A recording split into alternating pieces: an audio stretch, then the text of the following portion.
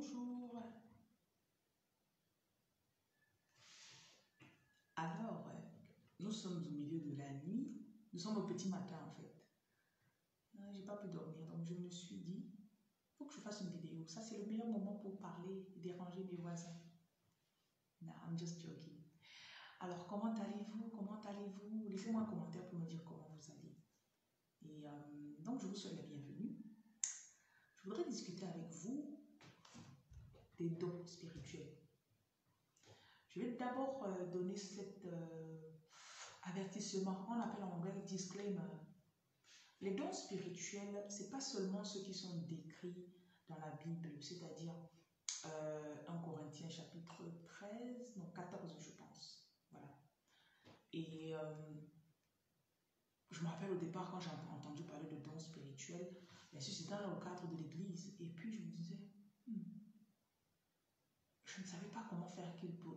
Comment je fais pour avoir ces dons Déjà, c'était ça ma question. Et euh, en numéro 2, je me disais, est-ce que ça veut dire que tous les autres là-dehors n'ont pas les dons? Donc il y a autant de questions qui trottaient dans ma tête. Du coup, 2016, 2014, je commence mon expérience spirituelle plus profondément. Donc voilà, je vais un peu faire un résumé. Euh, de zéro, communion, euh, j'ai été communié, baptisé, communié à l'église catholique, confirmation à l'église catholique. 20 ans, 19 ans, j'ai arrêté de partir à l'église. Bonjour, bonjour. J'ai arrêté de partir à l'église. Euh, j'étais dans la fornication, je me disais 20 ans, 21 ans, 22 ans, j'ai eu ma fille. 24 ans, 23 ans et demi comme ça. Je suis allée à l'église, donner ma vie au Seigneur. 25 ans, commence mon expérience spirituelle parce que je partais à l'église, mais ça m'énervait parce qu'il y avait des gens à l'église que je connaissais qui couchaient avec plusieurs filles. Il y avait un gars en particulier, il était mon voisin, c'est-à-dire il vivait derrière chez moi. Il m'invitait tout le temps à l'église et je voyais le défilé de femmes qui allaient chez lui. Ce qui fait que je me disais, bonjour Pascal. Je me disais, non, si c'est ça être chrétien, je ne pars pas à l'église. Il y a toujours eu cette, cette recherche de vérité en moi. Toujours, toujours, toujours, toujours. Et je me suis dit, ok.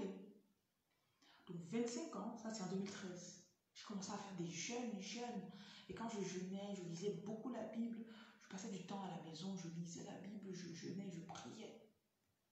Et je peux dire que c'est là que, mon, là que mon ascension spirituelle a commencé. Vous devez comprendre que la spiritualité est différente de la religion. Et je vais faire plus de vidéos spirituelles parce que vraiment, c'est ce qui me gratte. De, de je, je, ça, ça me démange d'en parler parce que je sais que ça va aider les gens.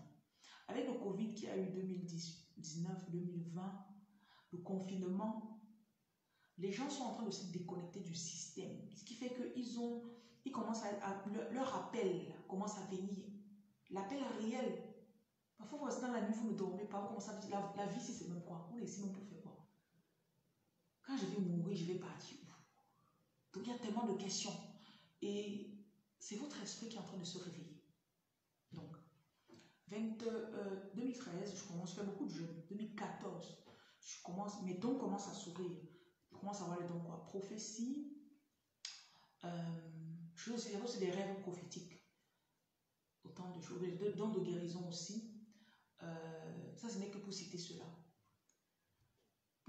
À l'époque, quand j'étais dans le cadre, juste dans le cadre de l'église, je me disais qu'il n'y a que les chrétiens qui ont ces dons. Mais après, je me disais, Jésus, pourquoi? Est-ce que tu es méchant? Comment ça se fait que tu donnes les dons seulement aux chrétiens et tous les gens de dehors là, ils n'ont pas? Ça ne correspondait pas. Donc, ça c'est mon, mon ascension progressive. J'avais toujours, j'étais toujours en quête de plus, en quête. Ok, si tu es la vérité, j'aime mes frères camerounais. Je sais que beaucoup d'entre eux, ils ne viennent pas à toi de la façon que je viens pour l'instant. Est-ce que ça veut dire qu'ils sont perdus? Donc j'avais autant de questions. C'est ainsi que 2016, j'ai eu un chagrin d'amour à l'église. Je suis partie de l'église. J'ai dit, je ne veux plus de Jésus. Oh là là. Là, je pense que c'était nécessaire comme phase pour me permettre de découvrir une autre face des dons spirituels. Donc, je sors de l'église. Et quand je pars de l'église, je me dis, non, mais donc, c'est fini. Hmm. Aussi surprenant que c'est, mon expérience spirituelle continue.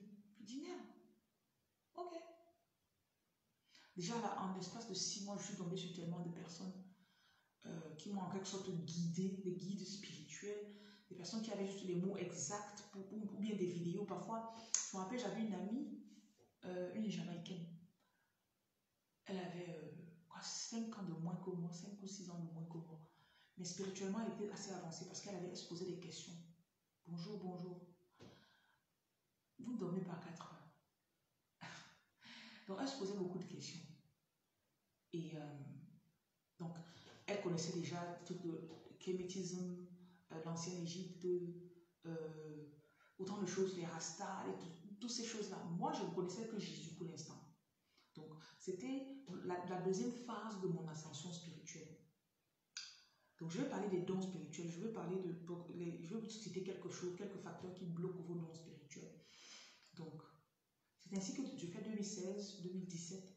Et pendant ces deux ans-là, je me repose beaucoup. Je prends du temps, je vais dans la nature, je médite.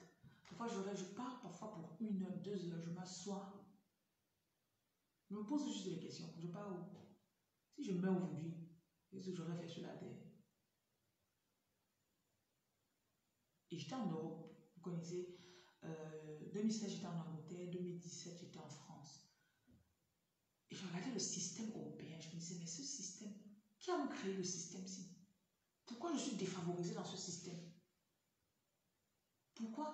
Autant de questions. Je sens en moi, même dans mes rêves, je sais que je suis faite pour plus que ce que je vis. Je sais que je ne suis pas définie par les papiers qui me disent. Mais pourquoi je me sens aussi limitée? Ça, c'est des questions. Et euh, j'ai commencé à manger ça.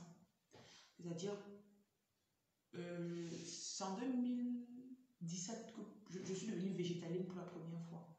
Donc vraiment, dans mon alimentation, je ne mangeais pas de viande, pas de poisson, euh, les produits laitiers, je ne prenais que du lait de soja, donc pas de miel, c'est-à-dire tout ce qui a, tout ce qui a été issu d'un animal, je ne mangeais pas.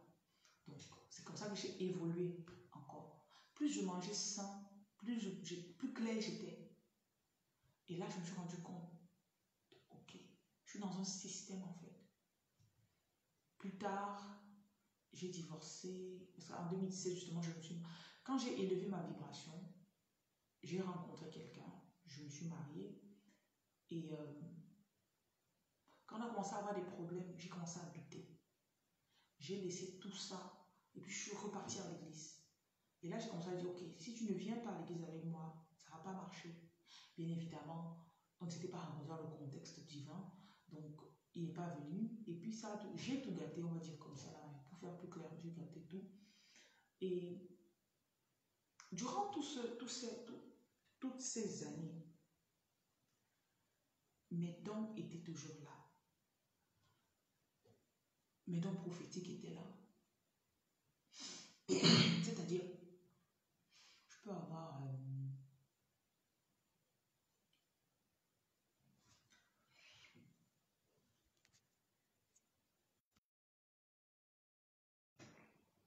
Bonjour.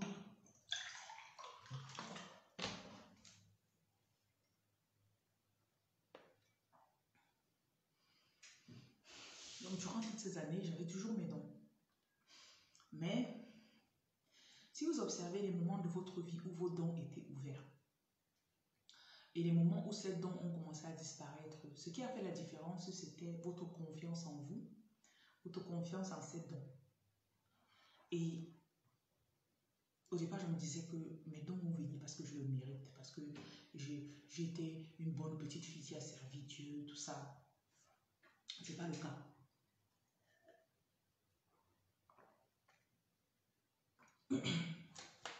Finalement, j'avance un peu les choses. 2020. Bonjour, bonjour. 2020, ça c'était l'année où ça vraiment tout, tout a explosé. Les dons de délivrance, les dons de tellement de dons, tellement de dons. Euh, fin 2020, parce que vous allez voir, les dons un peu, c'est comme une courbe. Ça monte, ça descend. Quand vous descendez, c'est un peu comme si vous rentrez en apprentissage et il y a d'autres parts, d'autres facettes de vos dons qui doivent être explorées, ouvertes. Et quand, quand, quand votre esprit est en train de vous enseigner, il ne va pas dire, OK, maintenant on rentre en phase d'apprentissage. OK, maintenant on rentre en phase d'exploration. Non, non, non, ça ne se passe pas comme ça. Tu te retrouves seulement, tu dis, mais attends, qu'est-ce que, qu'est-ce, que... Ah, euh, les quatre mois de dépression, là, c'était l'apprentissage. OK. Ah, OK. Donc c'est à vous de vous approcher pour savoir dans quelle phase vous vous trouvez. Voilà. Donc je vais vous donner euh, trois. Trois choses qui peuvent bloquer vos dons spirituels. Donc bonjour et bienvenue. Si vous n'avez pas, vous pensez que vous n'avez pas de don spirituel, vous pensez que la spiritualité, ce n'est pas votre truc. Je pense que cette vidéo ne va pas vous intéresser. Donc, la première chose qui va bloquer votre don, vos dons, la première chose, ce sera ne pas être votre version authentique. Quand je parle de version authentique, oh, je prends l'exemple d'un ami. En fait, il vit avec sa femme. Chaque jour, quand sa femme sort, il se plaint de sa femme. Elle part, il reste se plaindre d'elle. Je dis, madame, c'est ta femme, non? Oui. Vous dormez sur le même lit, tu partages ta vie avec elle, donc oui. Mais pourquoi tu ne lui dis pas tout ce que tu me dis là? Ah non, non, non. Ok. Ou encore, tu vas voir quelqu'un qui... Une femme qui vit avec son mari. Pardon. Quand le mari sort, ou bien quand elle sort, elle va avec ses amis, elle est contente, elle est joyeuse. Dès qu'elle sait qu'elle est en train de rentrer à la maison, ah, à la maison, elle change d'humeur. Jamais vous allez voir ce genre de femme à la maison, elle a le visage froissé, elle est désagréable. Et dès que son ami l'appelle, Hey, comment tu vas ma copine? Il y a ce changement brusque de personnalité. J'ai vu ce genre de, de personnes quand j'étais en Europe. On a souvent des gens qui veulent avoir les papiers. On te dit, pour avoir les papiers, peut-être, tu dois mentir. Ou bien il y en a qui peuvent, parfois pour avoir une bonne situation, on se retrouve en train d'épouser quelqu'un ou quelqu'une. Parce que tu sais que elle travaille déjà. Elle a les papiers. Bon. Quand je suis avec elle, je ne l'aime pas en particulier. J'aime pas, pas son odeur. J'aime pas. J'aime pas la façon dont elle dort là. J'aime pas. Mais tu te retrouves en train de l'épouser. Parce que tu veux la situation. Tu veux être sécurisé. Tu ne veux plus souffrir. Ou encore, tu te retrouves en Europe, tu manques pendant 4, 5, 6, 10 ans.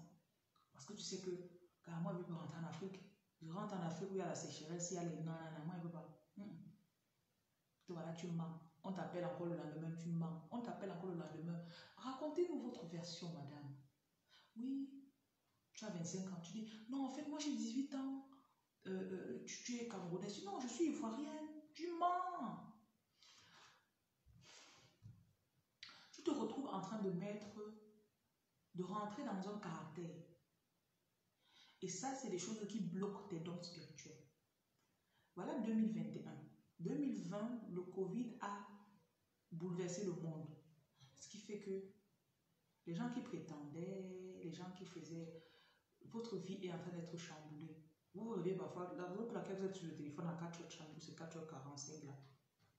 Quelque chose à l'intérieur de vous vous met mal à l'aise. Vous savez que il y a plus que ça. Ce système-ci là, c'est même quoi ça?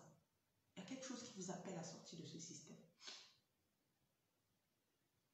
Donc, quand vous n'êtes pas dans votre propre version, vous n'êtes pas authentique. La deuxième chose qui peut bloquer votre, votre don, quand vous ne parlez pas, vous ne dites pas votre vérité. Ok? Euh, Il y a parfois des métiers qui sont, par exemple le métier d'avocat. Je me rappelle, j'ai eu une situation en 2018, j'avais besoin d'un avocat.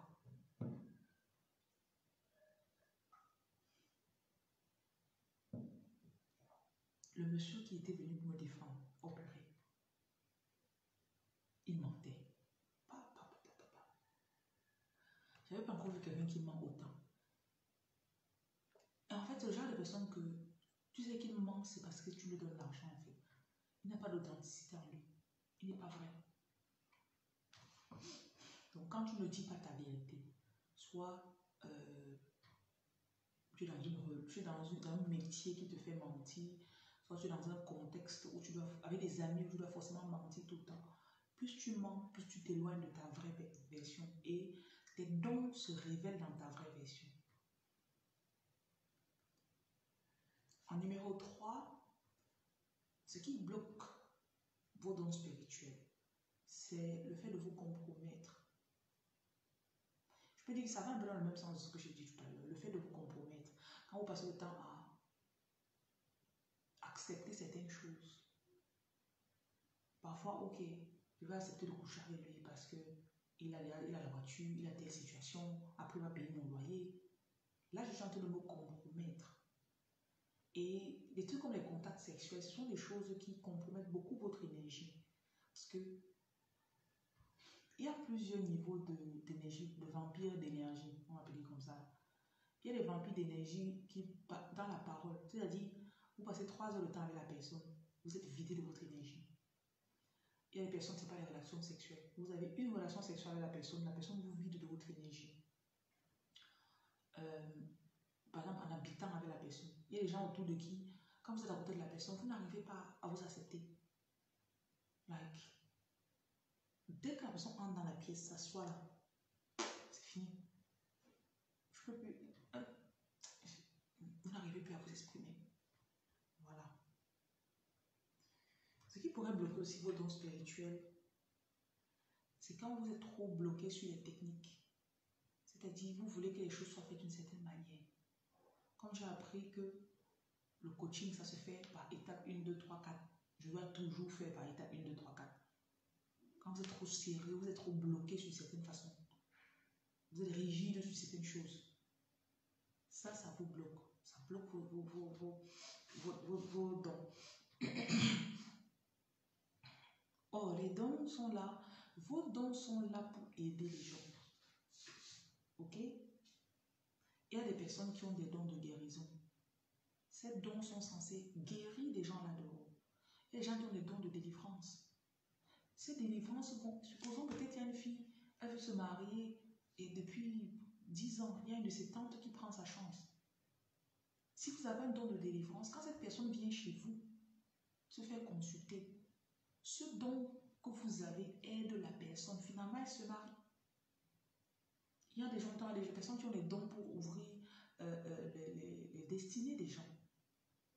Donc tu regardes quelqu'un comme ça, tu peux voir à travers la personne, savoir que non, tu es bloqué ici, tu es bloqué là.